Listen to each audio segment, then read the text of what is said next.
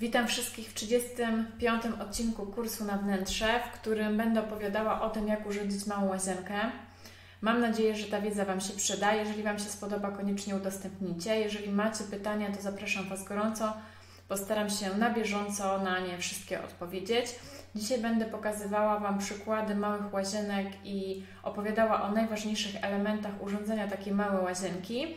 Dlatego bądźcie ze mną, e, jeżeli możecie, odpalcie sobie właśnie ekran na Facebooku, tak żebyście widzieli te przykłady, które będę zaraz Wam pokazywała. Dajcie znać oczywiście, czy mnie słychać, czy nie. Ok. Pokażę Wam teraz różne rodzaje łazienek. One są na prezentacji. Zaraz wrócę i zobaczę, co, e, jakie są Wasze łazienki, czy są też tak w takiej e, kubaturze, jak tutaj pokazuję. Zobaczcie, tu jest łazienka numer jeden. Pokażę ją na rzucie z góry. Często mamy do czynienia z takimi, słuchajcie, łazienkami. Witaj. Juszka Aga chyba. Nie jestem pewna. E, zobaczcie, tu mamy taką wnękę i nieraz się zdarza w łazienkach, że mamy taką wnękę. Jeżeli mamy taką wnękę, szczególnie w małych łazienkach, to warto ją wykorzystać na kabinę prysznicową. I teraz jak urządzić taką kabinę prysznicową? Macie do wyboru kilka opcji, ja powiem o dwóch.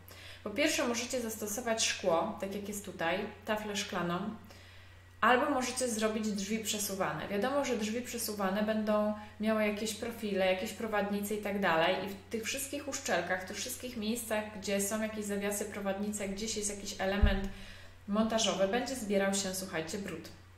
Jeżeli lubicie mm, minimalizm, nie lubicie dużo sprzątać, to lepszym rozwiązaniem będzie sama tafla szklana, czyli tak zwany walk-in. Ale uwaga, przy braniu prysznicu ta woda może się rozchlapywać dalej. Jeżeli macie ogrzewanie podłogowe, to ta podłoga bardzo szybko Wam wyśle, wyschnie. Jeżeli nie macie ogrzewania podłogowego, no to będzie Wam troszeczkę dłużej schła, ale mimo wszystko yy, to nie jest jakiś problem. Ważne jest to, jeżeli zastosujecie sobie takiego łokina, czyli taką taflę szklaną, to, żeby te, mm, ta ściana, która jest obok mm, deszczownicę obok tego, gdzie ta woda będzie wylatywała, żeby była zabezpieczona albo specjalną farbą, albo tak jak tutaj płytkami.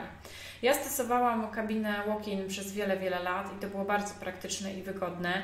Miałam profil, przepraszam, miałam profil tylko przy krawędzi i tylko tam trzeba było, nie wiem, szczoteczką wyczyścić, a całą taflę czyściło się bardzo łatwo. Jeżeli macie wodę z kamieniem, to jeżeli macie taką ściągaczkę, bardzo łatwo tą wodę po, ka po każdym prysznicu ściągnąć. Jeżeli zastosujecie kabiny okrągłe, półokrągłe, z profilami, przesuwane, to tych elementów montażowych będziecie mieli więcej. Jeżeli nie lubicie, jeżeli coś Wam się wylewa na zewnątrz, to tutaj sugeruję, żeby jednak ta kabina była dla Was zamknięta, albo jeżeli kabina jest blisko ościeżnicy drzwiowej, czyli jeżeli mamy ościeżnicę, tutaj akurat są drzwi, z ościeżnicą schowaną, ale wyobraźmy sobie, że e, ościeżnica byłaby tutaj na zewnątrz. Jeżeli ona nie będzie, słuchajcie, dobrze zabezpieczona, to ta woda może tutaj wnikać. Karolina pisze, że łokin jest super. Tak, łokin jest super, ja też naprawdę e, lubię to rozwiązanie, ale rozumiem też osoby, które nie lubią tego rozwiązania, boją się jego i nie sprawdziły tego nigdzie, ani w hotelu, ani u kogoś znajomego, ani u nikogo w rodzinie. Warto, słuchajcie, też przetestować gdzieś u kogoś, i zobaczyć, że nie ma czego się bać. Ważne, żeby to wszystko było zabezpieczone. I teraz, jeżeli mamy taką sytuację, gdzie ten walk jest otwarty, gdzieś tutaj mamy ościeżnicę blisko, to warto je sprawdzić, czy są dobrze zabezpieczone, czy ten silikon przy krawędziach ościeżnic jest dobrze położony, bo jeżeli nie, to może się woda dostawać, ta ościeżnica może spuchnąć i się może to rozwalić. I ja też tak miałam, dlatego że nie było to dobrze zrobione.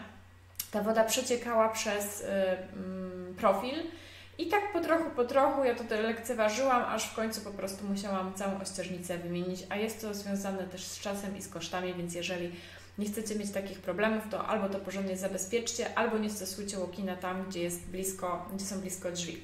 Drugą ważną rzeczą w łazienkach, oczywiście małych, jest wykorzystanie przestrzeni maksymalnie, ale też możecie spróbować, jeżeli jesteśmy tutaj w obrębie kabiny prysznicowej, spróbować nie robić e, na przykład brudzików, chyba że, że z jakichś względów potrzebujecie. Możecie zastosować, zobaczcie, e, na posadce płytki i spadek w stronę odpływu. Tutaj odpływ jest ścienny i teraz wiem, że bardzo mało osób wie o tym, że taki odpływ ścienny możecie mieć.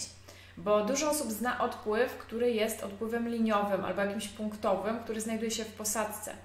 Odpływ ścienny ma stelaż, który montujemy na ścianie, tak jak stelaż ma na przykład toaleta. Zobaczcie, tutaj mamy toaletę, w środku mamy stelaż podtynkowy.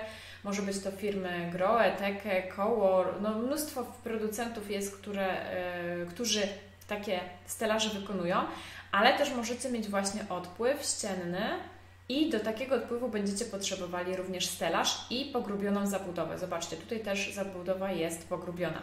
Więc warto o tym pamiętać, y, że coś takiego jest i możecie takie coś zastosować, szczególnie jak lubicie czystość i nie chcecie, żeby ta woda spływała Wam w posadzce. Mm, tak myślę, czy to są te najważniejsze, słuchajcie, rzeczy, które chciałam Wam pokazać. Zaraz zobaczę jeszcze na Wasze odpowiedzi. Y, ojej, ale tych odpowiedzi, dobra. Marta pisze, muszę trochę Instagrama przesunąć na bok. Marta pisze, ja potrzebuję zrobić łazienkę 2,75, czyli bardzo małą, bardzo malutką. Najprawdopodobniej Marto, raczej łokiny nie wejdą w grę, ale nie znam układu. E, będzie to mała kabina zamykana, pewnie 80 na 80, o ile się zmieści. No i będziesz musiała, Marto, mieć też małą toaletę i stosunkowo małą umywalkę. Nad geberitem koniecznie zabuduj to. Ja zaraz pokażę, jak wykorzystywać tą przestrzeń maksymalnie. Małgosia pisze 5,70, yy, Marta pisze łazienka 2,70, w której teraz jest wanna, pralka i umywalka. No to wszystko jest. Yy, dobra, toaleta jest osobno WC, opie Aha, czyli toaleta jest osobno, czyli to nie jest aż taka mała łazienka, na szczęście toaleta jest osobno, ok. Ta mała to około 4 m2, bez toalety w kwadracie. Ja uwielbiam walk-in za estetyczną sterylność, ale niestety miałam problem z przeciekaniem. No to może być tak, jeżeli jest to źle założone, gdzieś tam uszczelki są niezrobione dobrze, albo silikon nie jest dobrze położony. Słuchajcie, nawet jak ktoś Wam to źle zrobi, to można zdjąć albo dołożyć ten silikon, naprawdę to nie jest problem. E, Brodzik pracował pod ciężarem i tak odkryła, odkrywał, się, odkrywał się silikon. Przynajmniej tak twierdzi Pan z ekipy. Brodzik pod ciężarem. Ciekawa teoria. No to nie było chyba stabilnie położone, mi się wydaje. No zobaczymy, zobaczymy. Słuchajcie, wracam do, wracam do mojej prezentacji.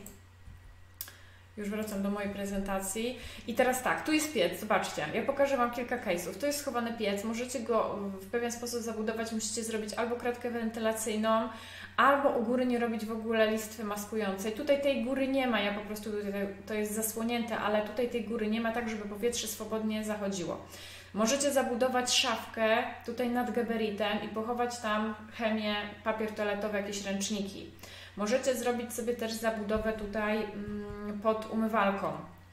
No niestety takie rzeczy na zamówienie wiadomo, że będą droższe, ale musicie wykorzystać, jeżeli musicie wykorzystać każdą tą przestrzeń na schowanie różnych rzeczy, to możecie to właśnie w ten sposób, y, zobaczcie, zrobić.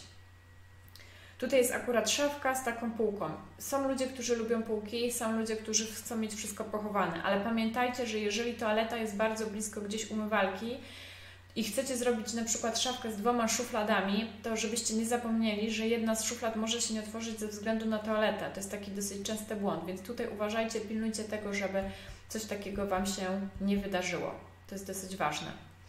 Jeśli chodzi o doświetlenie, to są różne możliwości. O tym by mógł być osobny live. Ważne, żebyście gdzieś tą strefę przy lustrze sobie doświetlili. Możecie stosować LEDy przy suficie, możecie zastosować kinkiety, Możecie doświetlić sobie, tak jak ja tutaj mam, profilem LEDowym, który jest wbudowany w sufit.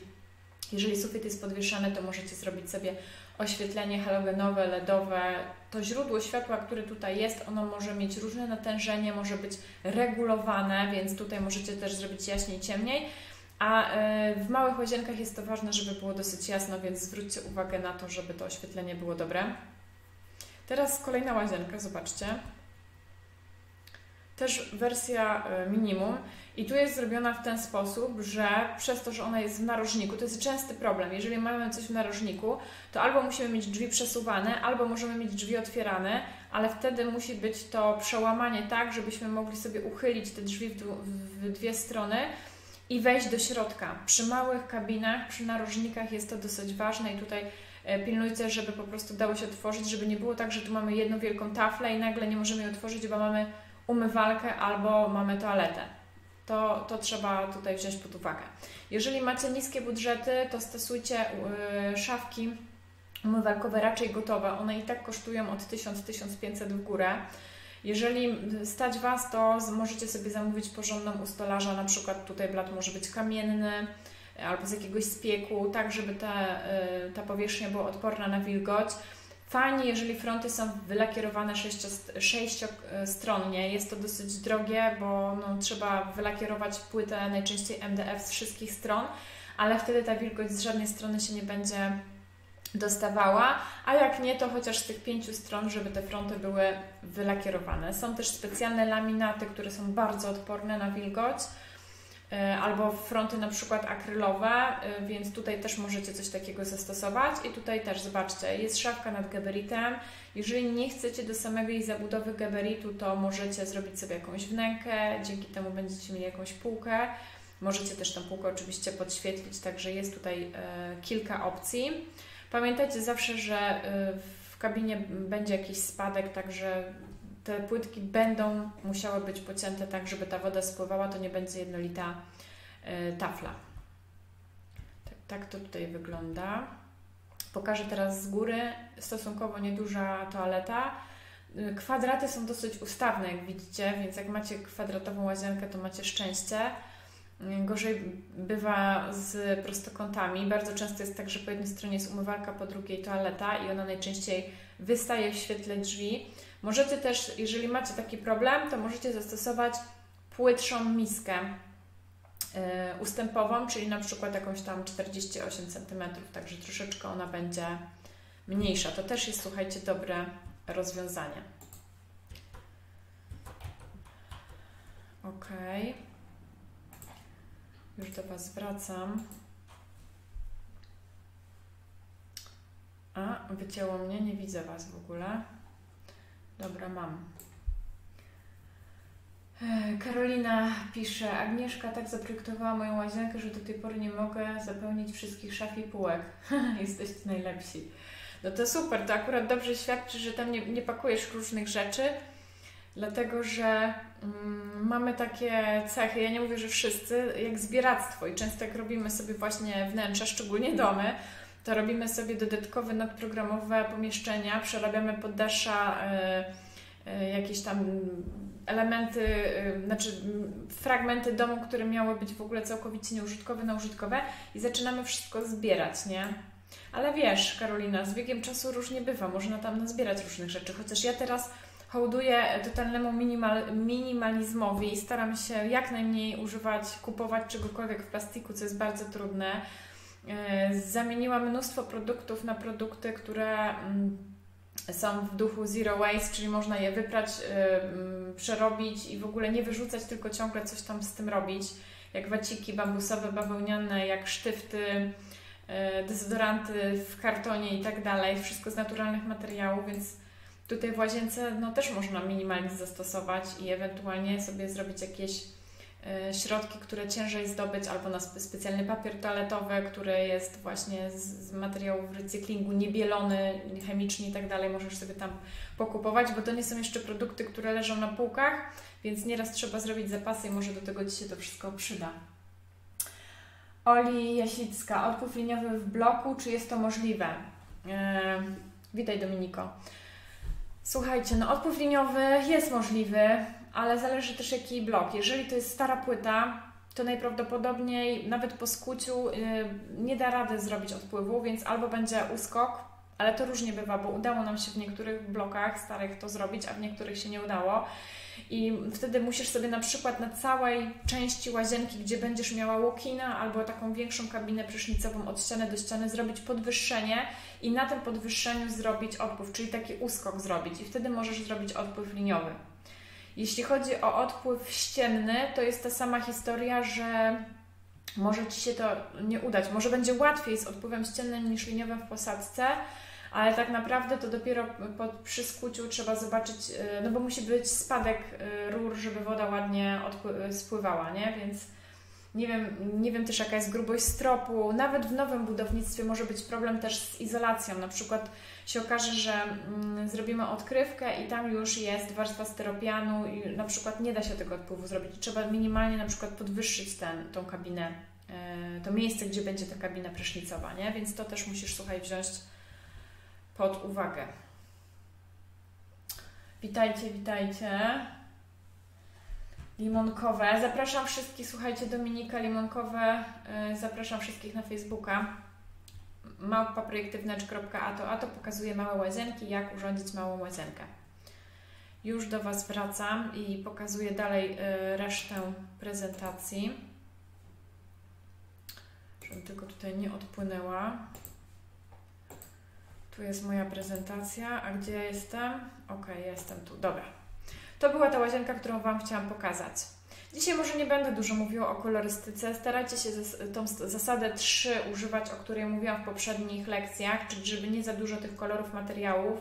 Tutaj mamy trzy rodzaje płytek i wydaje mi się, że to jest wystarczająca ilość i żeby tego nie przesadzać z ilością struktur, kolorów i płaszczyzn, bo później będzie Wam ciężko to połączyć. Dzisiaj bardziej się skupię na funkcjonalności. Zobaczcie, Tutaj jest właśnie szafka odkryta. Tam, gdzie jest blisko toaleta, jest to dobre rozwiązanie, bo wtedy nie możemy tej szafki otworzyć albo wysunąć szuflad. Wtedy możemy właśnie zrobić takie półki otwarte i tam schować sobie na przykład papier toaletowy, jeżeli to jest blisko, czyli wtedy nie potrzebujemy tego dozownika na papier, albo ręczniki możemy też umieścić w takim y, miejscu. Warto zostawić jakąś szczelinę pomiędzy wanną a szafką umywalkową. Dlaczego? Dlatego, że jeżeli ona będzie bardzo blisko, to będzie Wam ciężko wyczyścić, ale też może się gromadzić jakiś y, brud, pył. Nieraz trzeba zastosować silikon, ten silikon trzeba odnawiać, wymieniać i też jak jest blisko szafka y, wanny, no to też może być bardziej narażona na y, wilgoć, na jakieś też uszkodzenie i tam, gdzie będzie jakieś mikrouszkodzenie, ta woda może się dostawać a ja wiemy doskonale, że takie szafki też trochę kosztują i nie każdy może sobie mm, takie mega odporne na wilgoć w całości kupić.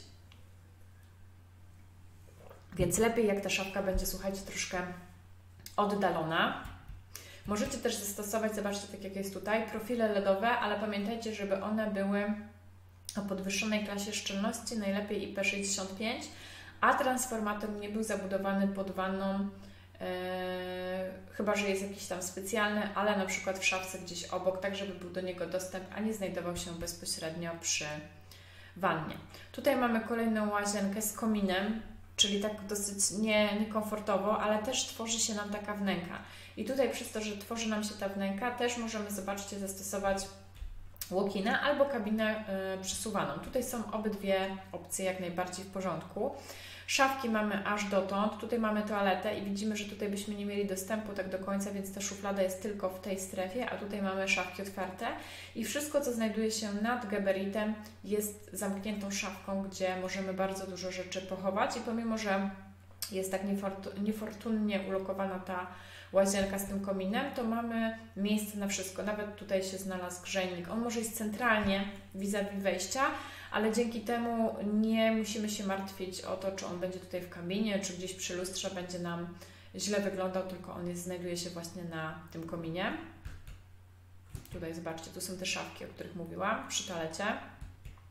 Więc jest to dosyć y, zabieg praktyczny. Tutaj widać na, ujęcie na tą poprzednią y, łazienkę. Teraz tak, jeśli chodzi o baterie, wannowe, to pamiętajcie, że nie musicie mieć tylko e, typowych baterii wannowych, tutaj jest akurat z, deszczownicą, ale możecie mieć wodę, która wylatuje z przelewu, czyli Wy nie macie tutaj na przykład w ogóle baterii, tylko słuchawkę prysznicową.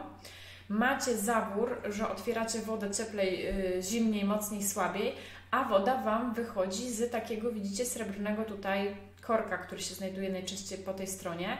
Jest to układ przelewowy, taki przelew do, nie, do niektórych wanien możecie kupić i wtedy woda Wam wylatuje z wanny. To też jest bardzo fajne rozwiązanie. Są różnego rodzaju kaskady, czyli woda się jak z takiej właśnie kaskady fontanny wychodzi też ze ściany. Baterie możecie mieć natynkowe, podtynkowe, ale nie zawsze podtynki będziecie mogli też zastosować ze, ze względu na na przykład zbyt cienką ścianę, albo problemy z tym, że ściana jest żelbotowa i na przykład już na danym etapie remontu nikt nie chce się podjąć tego, żeby ją skuwać i tą instalację Wam tam prowadzić. więc na to zwracajcie uwagę. Częsty problem to jest pralka. Gdzie, co zrobić z pralką, jak ją ukryć? I najczęściej są dwie opcje. Jedna jest taka, że pralka nam, słuchajcie, ląduje pod szafką umywalkową i zaraz powiem, jakie to wiąże, z czym to się wiąże. A druga opcja gdzieś w narożniku. I teraz, jeżeli w narożniku, to po biedę, bo zobaczcie, tutaj mamy ją zabudowaną. Oczywiście trzeba zrobić jakieś otwory wentylacyjne, może jakieś podcięcie tam na dole w cokole, ale możemy ją całą zamknąć i nad pralką możemy sobie zrobić schowek na różnego rodzaju rzeczy, więc to jest, słuchajcie, bardzo praktyczne w łazience. Jeżeli macie z tym problem, to możecie sobie coś takiego y, zrobić i zabudować i też wykorzystać przestrzeń nad geberitem. I tutaj to jak najbardziej widać. Witaj Wiktorio, witaj Karo, zapraszam na Facebooka, pokazuję jak urządzać małe łazienki. E, małpa projekty wnętrz.ato ato. Tutaj jest pokazane, jak ta wnęka nad geberytem jest zabudowana, u góry jest e, szafka. Także w ten sposób można zrobić. Kolejna łazienka, gdzie chcemy połączyć w małej łazience, albo kolokwialnie mówiąc, wcisnąć i kabinę, i wannę. Możemy to, słuchajcie, zrobić, tylko musicie pamiętać, że żeby nie robić tu pomiędzy wanną a kabiną ścianki szklanej do podłogi i żeby ta ścianka dotykała to, tej wanny. Dlaczego? Dlatego, że pomiędzy tą taflą szklaną, ja nie mam tutaj tafli, ale Wam mówię już o tym, pomiędzy tą taflą a wanną będzie zbierała się wilgoć, małe muszki, brud i tak dalej i Wy tego nie wyczyścicie. Jeżeli chcecie mieć koniecznie tutaj taflę szklaną, to musicie tak zaprojektować sobie wannę, żeby ta tafla szklana kończyła się tutaj, gdzie są drzwi i kończyła się na wannie, tak żeby pod wanną, od tej strony wanny była wanna zabudowana również płytkami. Albo możecie zrobić tak, jak tutaj w tym przykładzie jest, czyli mamy ściankę murowaną, e, która jest zabudowana płytkami, tu mamy jakąś małą wnękę na kosmetyki i w ten sposób możecie zrobić i wtedy możecie połączyć jedno i drugie. Trzecią opcją jest zrobienie parawanu nawannowego, wtedy kiedy mamy naprawdę skrajnie mało miejsca, czyli robimy wannę. Ta wanna będzie zdecydowanie większa niż na przykład ta, która jest tutaj i robimy parawan nawannowy. Przy parawanach nawannowych pamiętajcie o tym, że, ten, że bardzo dużo tych parawanów się zgina i zamyka. I jeżeli Wy nie zaprojektujecie, nie zaplanujecie wcześniej, gdzie będzie bateria, to może Wam się ten parawan po prostu nie domknąć, bo bateria będzie go blokowała. Jeżeli to nie jest dla Was problem, ok, ale jeżeli chcecie to zrobić wcześniej i to zaplanować i dla Was jest to ważne, to lepiej zrobić na przykład, że bateria jest na środku wanny niż po, y, na szczycie wanny, z prawej albo słuchajcie, z lewej strony. Więc tutaj na to zwracajcie uwagę. E, zobaczcie, tu jest kolejna mała łazienka. Nie ma tutaj opcji walk-ina. Jest grzejnik, który jest blisko kabiny. Kabina jest zamykana z drzwiami otwieranymi. Jest mała szafka, która też jest lekko odsunięta od kabiny. Mamy geberit obudowany. On też jest lekko odsunięty od szafek, żeby właśnie można było sobie swobodnie tutaj wszystko wyczyścić. I jest lustro e, z wbudowanym profilem LED. Czyli mamy to, to, to, to lustro podświetlane, tutaj też podświetlanie jest u góry i jest kabina, e, jest brodzik też. Jeśli chodzi o brodziki, to już naprawdę od Was zależy, czy będziecie chcieli go zastosować, czy nie. Nieraz jest to wymagane ze względu na to, że nie możemy zrobić odpływu w posadzce, więc no, nieraz tak bywa. Zobaczcie, mm, to, było, to była trochę, to była mniejsza toaleta. Tutaj plan jest tak zrobiony, nie mam rzutu skóry. Wydawało mi się, że miałam rzuty skóry. Tu jest rzut z góry tej poprzedniej łazienki. Zobaczcie, wanna, ścianka i kabina. A tutaj mamy wszystko, co znajduje się po drugiej stronie, czyli dosyć mała ta łazienka, a wszystko się pomieściło. Podwójne umywalki, nie za duże, ale jednak, e, bidet i miska WC. I wszystko jest od góry zabudowane, tak żebyśmy mogli sobie swobodnie wszystko pochować. Zobaczcie. I kolorystycznie dosyć e, ograniczona, fajna gama. Trochę się tutaj dzieje. Mamy szarości, mamy biele, mamy heksagony i tylko akcenty w kolorze takim złamanej czerwieni, która się pojawia w, w innych częściach domu. Więc w ten sposób to wygląda. A tu jest ta łazienka, o której przed chwileczką mówiłam, czyli jest kabina z drzwiami e, otwieranymi, prostokątna, z brudzikiem prostokątnym, z grzejnikiem, z geberitem, e, który jest e, ze stelażem podtynkowym, który do toalety, który jest zabudowany i z miską ustępową. Jeżeli ta miska by Wam bardzo mocno wystawała w światło drzwi, czyli na przykład byłaby aż dotąd, to warto pomyśleć o tym, żeby kupić sobie płytszą, ale jeżeli domownicy są dosyć wysocy, potężni, szczególnie mężczyźni, no to też, żeby im się wygodnie na tym siedziało. Jakby będzie za mała, to może niekoniecznie. Na to zwróćcie, słuchajcie, uwagę. I znowu na kierunek otwierania drzwi, żeby drzwiami o nic nie uderzać. Kolejna łazienka.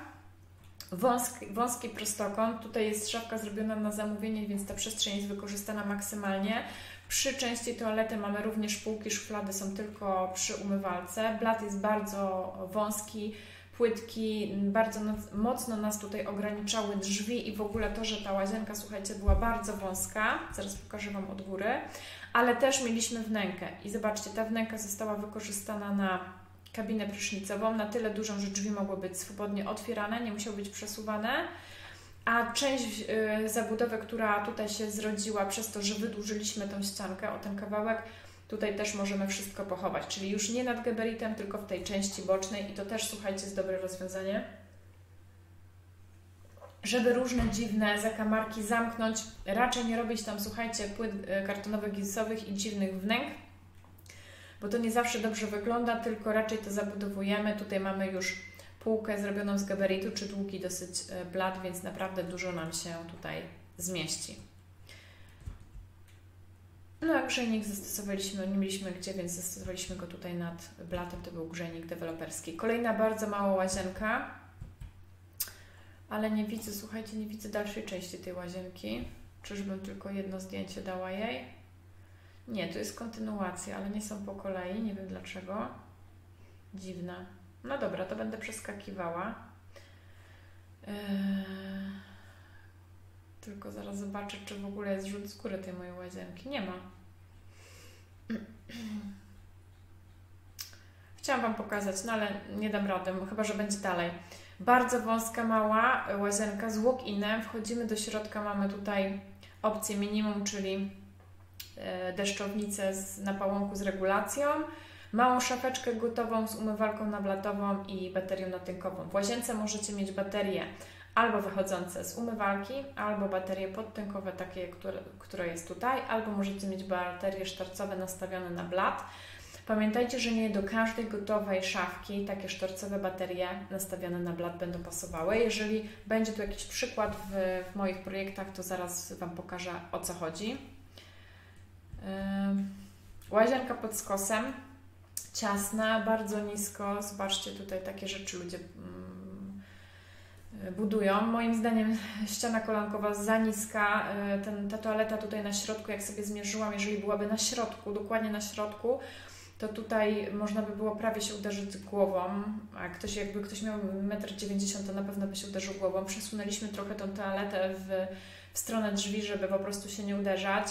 E, często takie łazienki gdzieś tam na poddaszach też są. Bardzo często jakieś kominy nam wystają. Tutaj mamy właśnie ścianę kominową i tą wnękę, którą tutaj, e, która się naturalnie stworzyła poprzez konstrukcję, wykorzystaliśmy na półki otwarte.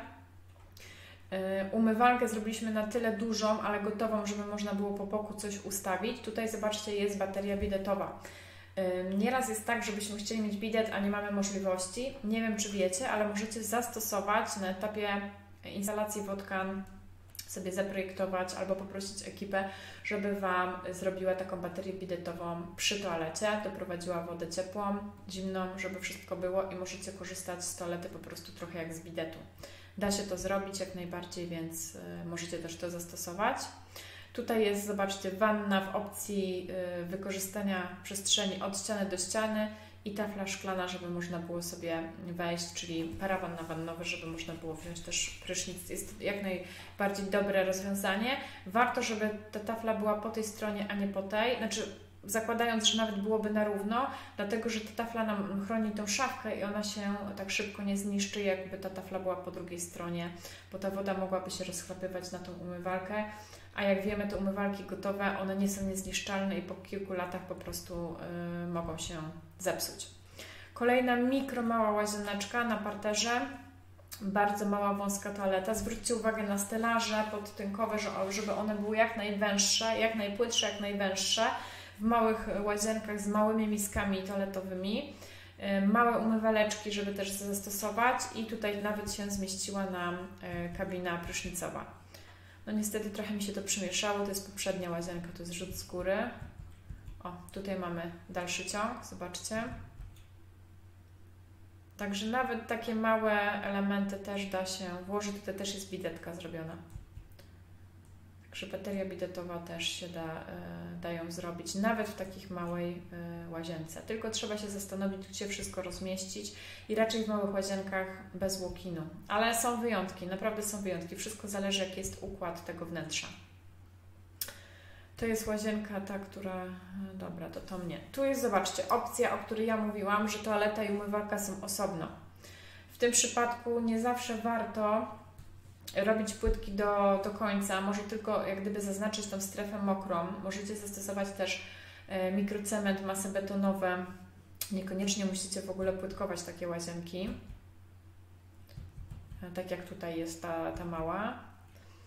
I tu jest ta łazienka, której e, myślałam, że nie mam rzutu z góry. Widzicie, kabina prysznicowa, tutaj jest łokień, tutaj wchodzimy, mamy miskę toaletową, grzejnik nad gabaritem, i już w świetle drzwi, no niestety w świetle drzwi, ale mamy jeszcze umywaleczkę, także małą taką zgrabną z szafką, gdzie możemy coś pochować. Tu jest toaleta tylko z, miska tylko z umywalką.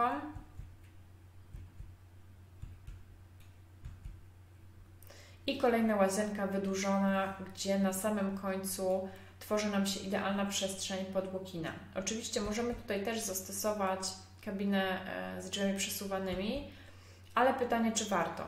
Tafla jest zrobiona od tej strony, wejście jest od tej strony, woda raczej nie powinna się w ogóle rozchlapywać nam na tą strefę. E, szafki są zabezpieczone, bo po pierwsze są dalej od e, kabiny, a po drugie są oddzielone właśnie taflą szklaną. I jak wchodzimy, mamy widok na umywalki, a toaleta jest schowana z boku, jest taka bardziej ukryta i to też jest fajne. Pamiętacie, że jak robicie, słuchajcie, łazienki, projektujecie łazienki, żeby jeżeli możecie sobie na to pozwolić, chyba że już nie macie wpływu, że jak wchodzimy na toaletę, e, wchodzimy do łazienki, to nie wchodzimy vis-a-vis na miskę ustępową, tylko raczej na umywalki, raczej na lustro, na coś innego niż e, toaleta, jeżeli się oczywiście da, bo to zawsze będzie lepiej wyglądało. I tutaj projekt już jak gdyby gotowy, czyli mamy tą strefę wydzieloną. To jest płytka drewnopodobna ułożona w jodełkę grafitowa ściana, czyli podkreślenie tego tyłu i stosunkowo y, jasne płytki, takie szare, pomazane mm, w całości. Taka tunelowa łazienka. Bardzo często występują takie łazienki też w bloku, więc może ktoś z Was będzie taką łazienkę miał. Już do Was wracam. Zobaczę sobie na pytanie. Yy, Oli, odpływ liniowy, aha, to już odpowiedziała. Marta Zdunek. A gdy na pralkę nie ma miejsca, co wtedy? A kuchnia jest aneksem kuchennym. Zresztą w prezentowanych realizacjach nie widzę pralek. No akurat tak się złożyło, że kurczę nie ma ich. Właśnie. Ale będą zaraz, zaraz pokażę Marta. Yy, małą łazienkę z pralką. Yy, przeskoczyłaś z Insta Małgosia. Świetnie. Wobec tego, gdzie są? Pralki. No na przykład w tych pomieszczeniach, tutaj w tych wnętrzach, które ja pokazuję, są pomieszczenia takie małe, Marta, gospodarcze, czyli na przykład w mieszkaniach, w blokach nie ma dwóch łazienek, tylko jest na przykład łazienka i pomieszczenie gospodarcze, ale klienci sobie właśnie życzą, żeby to pomieszczenie gospodarcze zamienić na łazienkę z funkcją pomieszczenia gospodarczego i najczęściej robimy tam umywalkę albo umywalkę i toaletę. Yy, nie mam teraz akurat przykładu, bo nie, nie, nie zastosowałam ich tutaj, ale w ten sposób wygląda. Jeśli chodzi o pralkę, no to pralkę albo robimy w zabudowie kominowej, albo przy zlewie i zaraz to pokażę. E, Oli, dziękuję za odpowiedź. W jaki sposób dopasować grzejnik do metrażu łazienki? Czy jest jakiś specjalny wzór, by obliczyć wielkość grzejnika do pomieszczenia? Tak, jak w internecie napiszesz sobie, jak policzyć moc grzejnika, to tam będzie metraż razy kubatura i yy, znaczy metraż yy, razy moce i tam będzie pokazane jaka moc powinna być grzejnika. Ja teraz nie pamiętam wzoru, ale na pewno to jest. Jak, jak znajdę, to po prostu wyślę link bezpośrednio, gdzie jest przykład, jak to sobie szybciutko policzyć. Marta, widzę, że dużo ścian jest w płytce. Czy z jakichś względów jest mała ilość gołych ścian? Nie, to zależy od projektów. W niektórych jest bardzo mało płytek, jest tylko w strefie mokrej, nie? Także Zależy. Nie mamy tendencji do płytkowania pod sufit, ale zależy to od koncepcji, zależy od tego, jakie są wzory płytek, jaka jest kolorystyka płytek. Ania, my też mamy płytki po sufit. Ja uważam, że jest to mega praktyczne w łazience, mm, z której teraz korzystam mimo farby specjalnej. Po 10 latach dosłownie odchodzi płatami, jakby się łuszczy. Więc cieszę, cieszę się, że teraz wszędzie będę miała płytki. No i to jest właśnie im plus. To jest plus posiadania płytek do sufitu. Mm, mm, co tu mamy dalej? Marta, czasem pralka, aha. Y, Ania, mówię, mówię oczywiście o małej łazience, dużej z oknami i dobra wentylacja, dlatego też jest na poddaszu, mamy już ściany gołe też. No właśnie, to wszystko zależy od układu, od skosów, od tego, jaka jest kolorystyka tych płytek, jakie, jest, jakie są wzory, jaki jest w ogóle cały zamysł projektu. Płytkowanie do płytkowania, żeby wszystko po prostu do samej góry zrobić, to, to nie o to chodzi. To musi z czegoś, słuchajcie, wynikać. Marta pisze, dziękuję za odpowiedź. Zaraz, Marto, postaram się Ci pokazać, bo mam mało czasu, mm, pokazać Ci te przykłady z pralką. I już tutaj, y, już do Was, już do Was wracam. Ok, zaraz przejadę z tymi pralkami. Słuchajcie, o, pralka wskoczyła. Tu jest łazienka z, y, w opcji minimum. Tu nawet sporo się dzieje. Zobaczcie, jest masa betonowa, płytki drewnopodobne, tu są heksagony szare i białe. Więc tu już moja zasada trzech płytek, chociaż nie, mam trzy rodzaje płytek, ale jeszcze mam masę, została trochę złamana. Ta wersja była przerabiana i ta wersja miała być taka w miarę elegancka, ale też nie miało to kosztować dużo, więc tutaj ten budżet był ograniczony.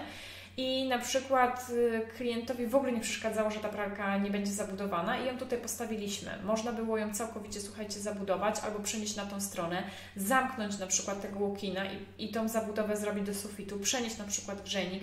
Tu było kilka opcji, ale niektórzy niektórym to absolutnie nie przeszkadza. Co więcej, możecie mieć pralkę wąską, 45, pakowaną od góry.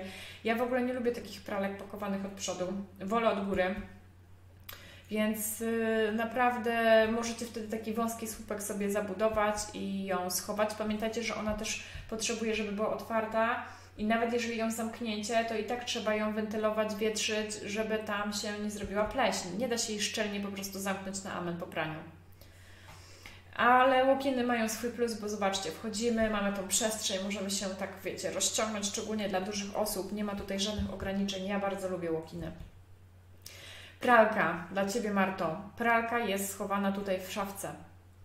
Przy czym, jeżeli ją schowamy tutaj w szafce, więc albo musi być niższa, bo ogólnie górna krawędź umywalki powinna e, być na wysokości 85, maksymalnie 90 cm, najczęściej 85. Jest, jeżeli jesteście bardzo wysocy, to możecie sobie zrobić 90-95.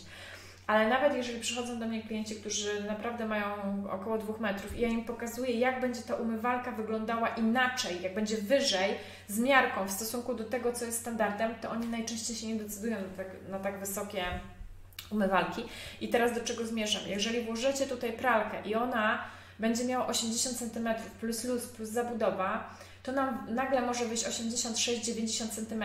I jeżeli na wysokość 90 cm położycie jeszcze misę umywalkową, która ma na przykład 15, to Wam się zrobi na przykład 105 cm. To będzie bardzo wysoko. Pomijam e, kwestie takie, że będziecie musieli e, zrobić wyżej na przykład baterię, że może instalacja e, wodna pod spodem Wam nie pasować. Więc jeżeli ją zabudowujecie, to możecie stosować albo niższe pralki, jest ich mniej, jest mniejszy wybór, będą droższe, albo jak już, to wpuścić tą umywalkę w szafkę, żeby zniwelować tą wysokość, żeby ta wysokość od podłogi tutaj nie przekraczała tych około 90 cm albo ustalić, jeżeli jesteście wysocy, że macie wyżej. Będzie to problematyczne dla Waszych dzieci i to też musicie wziąć pod uwagę, jeżeli macie dzieci, że te 85 to raczej bym tego nie przekraczała. I tutaj pomiędzy wanną też zostawić szczeliny, tak jak my tutaj mamy, żeby ta szafka nie dotykała wanny. Tej łazience nie ma toalety, toaleta jest obok, tak jak Marta chyba u Ciebie, jest to właśnie w bloku, w starej płycie łazienka i to toaleta jest wydzielona osobno, więc mamy tylko y, wannę i mamy y, umywalkę z pralką, która musiała oczywiście tutaj się znaleźć, no bo gdzie by miała być, nie? Jeżeli nie mamy dodatkowego pomieszczenia. Oczywiście może być też w kuchni, ale nie, nie szukujemy się w tych kuchniach. Y, w blokach z wielkiej płyty tam za dużo miejsca też nie było, więc raczej musi to być schowane w łazience. Widzicie, tutaj jest cały program zmieszczony, a toaleta jest osobno, bo najczęściej osobno były. Kolejna mała łazienka, Zobaczcie, drzwi od razu tutaj są przy ścianie, dlatego jest mikro mała umywalka. E, stelaż podtynkowy zabudowany i kabina z drzwiami przesuwanymi z szkłem e, takim mlecznym mrożonym. Niektórzy lubią mieć tą dodatkową intymność i lubią się po prostu też zasłonić, więc jak najbardziej coś takiego możecie też mm, zastosować. Ja zaraz zobaczę, czy gdzieś będziemy mieli jeszcze wanny, yy, pralki. Tutaj mam kolejną malusieńką łazienkę i zobaczcie, tu jest też tak zrobione, że jak wchodzimy od razu po prawej stronie mamy toaletę. Zaraz Wam pokażę rzut z góry. Jest kabina przesuwana. Nie, nie ma rzutu z góry, coś mi poprzeskakiwały te wszystkie rzuty, a wkładam je po kolei. Hmm, tutaj mam tą kolejną łazienkę, a gdzie jest moja łazienka? O, to jest ta łazienka, zobaczcie. Drzwi przesuwane, mm, lekki dystans, mamy szafki na zamówienie, tutaj mamy zabudowaną rewizję i mamy szafki zrobione, geberit po zakręcie i wszystko jest oprócz pralki, ale jest to łazienka w mieszkaniu e, takim pod wynajem wakacyjnym i tutaj e, opcji po prostu pralki nie ma. I jeszcze Wam tutaj chciałam pokazać, jeszcze Wam pokażę jedną łazienkę.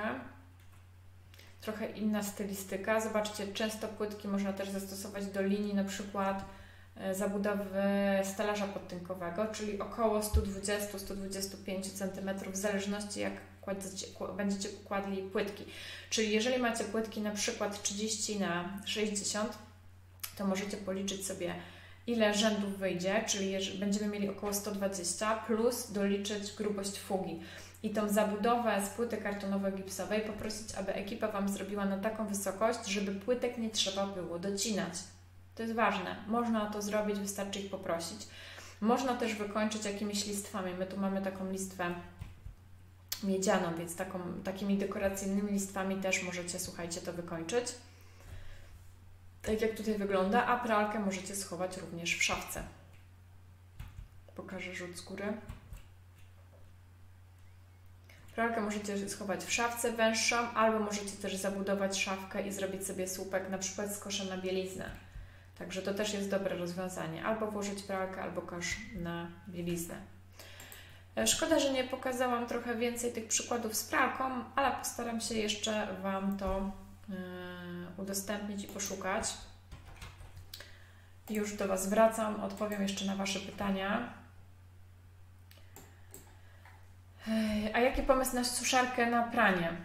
Ja w ogóle nie lubię Marta suszarek na pranie, ale nieraz y, klienci proszą, żeby nad wanną były takie zjeżdżające jak gdyby linki albo jakieś takie wysuwające się ramiona, ale jest to rzadko, jest bardzo rzadko coś takiego robimy. Ja wolę mieć tą suszarkę rozkładaną, którą sobie w pokoju rozłożę niż tą nad wanną. A dlaczego? Dlatego, że zauważysz, że e, jeżeli masz, e, no wszyscy się myją domownicy codziennie w, w tej wannie powiedzmy, wilgoci jest bardzo dużo i jeszcze pierzemy i wieszamy to pranie nad tą wanną, że zaczną się nam robić jakieś wykwity na suficie, jakieś pleśnie i tak dalej. To nie jest zbyt dobre rozwiązanie, ale wiem, że w blokach się tak robi.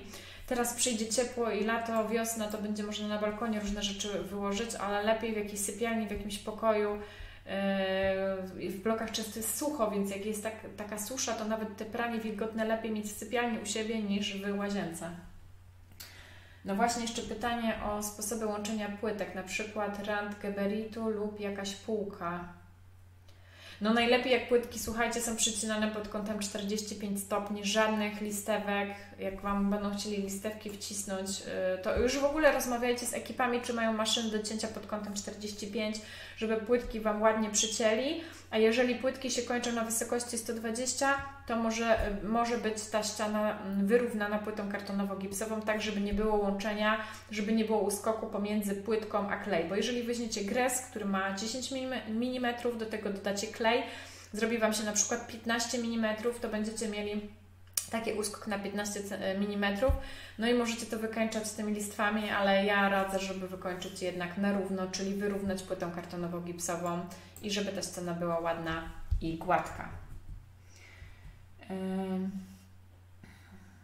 Rand gabaritu. Aha, i jeszcze nad gabaritem możecie też położyć y, płytkę Oprócz tego, że pod kątem 45 to możecie też wykończyć drewnem, jeżeli macie motyw jakiś drewna. Możecie położyć jakąś płytę laminowaną, możecie położyć spiek i wyrównać spiekiem, jeżeli na przykład nie stosujecie w ogóle płytek, tylko masy betonowe. Także różne opcje są wykończenia gabaritu na górze. Mogą być to różnego rodzaju materiały, nie muszą to być w ogóle e, tylko i wyłącznie płytki.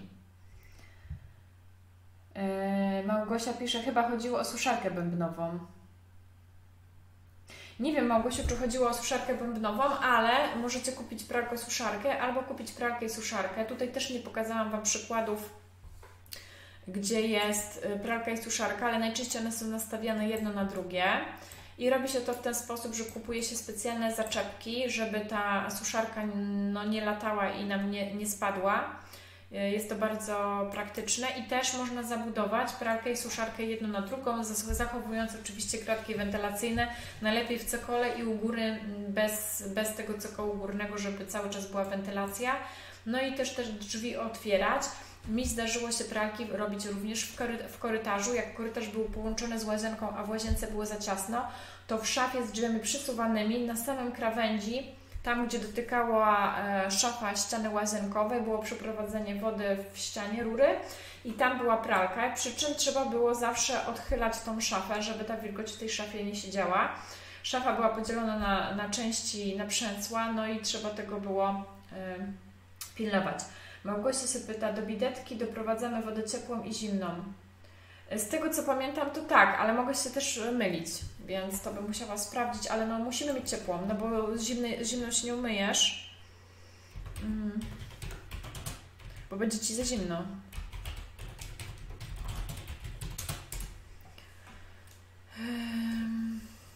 Zaraz zobaczę, czy tutaj jest ciepłej i zimnej, a także podejście kanalizacyjnego. No ale kanalizę mamy w toalecie.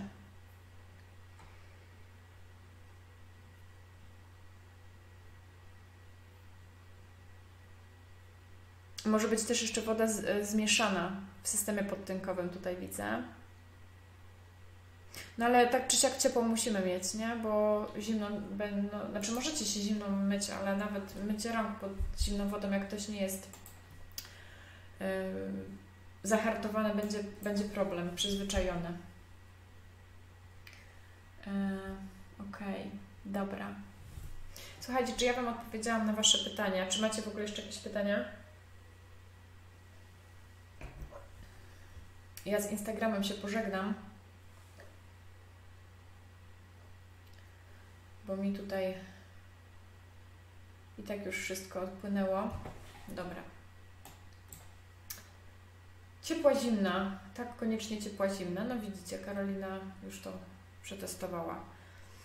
No to tak jak macie wodę w, w baterii zwykłej, no jeżeli będziecie mieli tylko ciepłą, u mnie na przykład wrzątek e, leci prawie zawsze, tak jest mocno zagrzana ta woda. Mm, więc musimy mieć możliwość e, zmieszania jej, żeby była optymalna dla nas.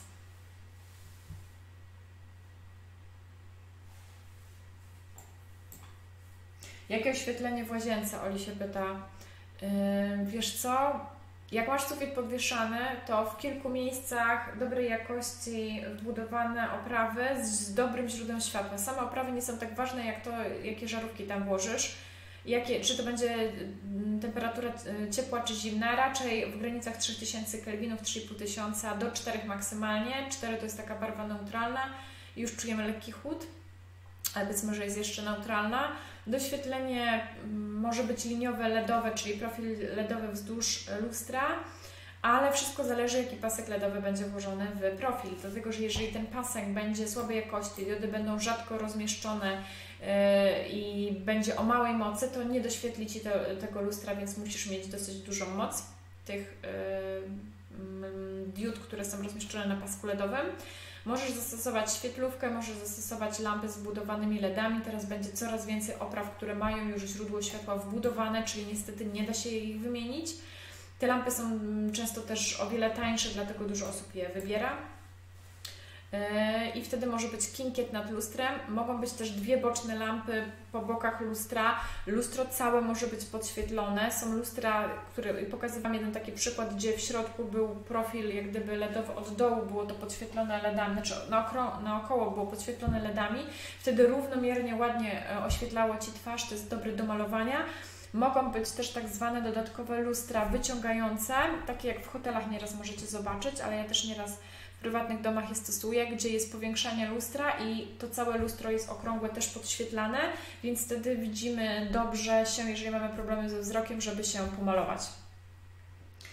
E, no i możecie zrobić, jeżeli macie bezpośrednio na przykład jakieś oczka e, na, nad kabiną prysznicową, gdzieś blisko tego e, prysznica macie problem z wentylacją, to wtedy lepiej z IP40 5, czyli klasa szczelności P45 albo 65 zastosować.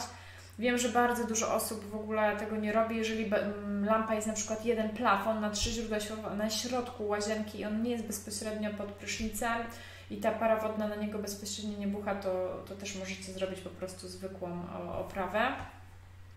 Ale normy mówią, że nad umywalką IP45, nad wanną bardzo nisko, jeżeli coś by było, no to 65, pod wanną, tak jak Wam mówiłam, też IP65, profile zabezpieczone, transformator gdzieś indziej umieścić, żeby on nie był w strefie wody. E, Oli, pyta, e, Oli pisze, hmm, chodzi mi też o to, czy są jakieś wymogi dotyczące bezpieczeństwa w strefie mokrej. Tak, tak jak mówię, IP65, IP45. Jak sobie wpiszesz w internecie, to też to wyskoczy ale mm, mi na przykład y, nic się nie dzieje. Nie, po, po kilku latach jeden raz mi się przypaliła e, żarówka halogenowa e, od dużej ilości pary. Wbudowana. Bez IP. Ok, dobra. Podobało Wam się dzisiejszy live? Pomogłam Wam w czymś? Mam nadzieję, że tak. Do zobaczenia w przyszłym tygodniu. Sprawdzę listę życzeń, jaką mieliście do kolejnych live'ów, jakie tematy byście chcieli. Pod tym, e, pod tym live'em możecie oczywiście dawać e, też, mm, zadawać pytania i dać propozycje następnych live'ów. Bardzo chętnie je e, uwzględnię. Oli pisze, dziękuję, bardzo proszę. I widzimy się w następny wtorek. Będzie mi miło, jak to udostępnicie. Dla wszystkich osób, które zajmują się profesjonalnie projektowaniem wnętrz, zapraszam na webinar 20, żeby teraz nie pomyliła, 24 kwietnia o 20 będzie na, na, na osobnej platformie. E, jeżeli jesteście zainteresowani, też możecie tutaj napisać, dam link. Marta pisze, dziękuję bardzo, podobało się jak zwykle bardzo. Cieszę się Marto, miło mi. Super live, jestem fanką, Oli pisze, cudownie. E, tak, wspaniale mieć takich fanów, naprawdę codziennie kupujecie moje książki, bardzo Wam dziękuję. To, to też dla mnie jest taka przyjemność, że, e, że to, co robię, ma w ogóle sens i że chcecie kupować moje książki. Dużo projektantów kupuje moje książki, moje kursy. E, no ja lubię naprawdę dzielić się wiedzą, więc jest mi miło, że chcecie pogłębiać tą wiedzę i coraz fajniej, piękniej mieszkać i świadomie to wszystko po prostu urządzać. Renata pisze dziękuję. Proszę Cię bardzo, Renato. Proszę Cię bardzo. Okej. Okay. no dobra. Do zobaczenia i miłego wieczoru. Buziaki. Ania pisze miliony inspiracji jak zwykle. Karolina, świetnie, gorąco pozdrawiamy rodzinkę B i zapraszamy na kawę wiosną. Tak, Mam jakieś właśnie dodatki. Ostatnio widziałam fajne dla Ciebie, także zbieram je sobie tutaj skrzętnie, fotografuję. Nowości. Może coś Ci się spodoba. Małgosia, ja też w prezencie świątecznym zakupię książkę. Cudownie, Gosiu. Bardzo się cieszę. Ostatnio też kilka osób kupiło właśnie mój najnowszy kurs e, o budżecie, czyli jak zaplanować budżet. E, to jest, słuchajcie, bardzo ważne. Chcecie zaoszczędzić, to ten kurs naprawdę Wam w tym pomoże. Ja wiem, że to jest wydatek, ile on kosztuje? 250 zł, ale on naprawdę Wam pomoże to zrobić. Jeżeli ta wiedza, którą daję tutaj za darmo, nie jest dla Was wystarczająca, chcielibyście to skondensowane i takie bardziej precyzyjne, to w tym kursie na pewno to też znajdziecie. Ja Wam gorąco dziękuję i zapraszam na następny odcinek kursu na wnętrze, który odbędzie się w następny wtorek na moim fanpage'u projektywnętrz.a to a to. Tutaj, tutaj u góry jest um, opis, jak tam trafić. Zachęcam też do tego, żebyście zasub zasubskrybowali mój kanał. E, I jeżeli Wam się podobało, no to dajcie lajka do góry. Możecie też zadawać komentarze, pytania. Bardzo chętnie na nie odpowiem. I y, trzymam kciuki za Wasze piękne wnętrza. Do zobaczenia.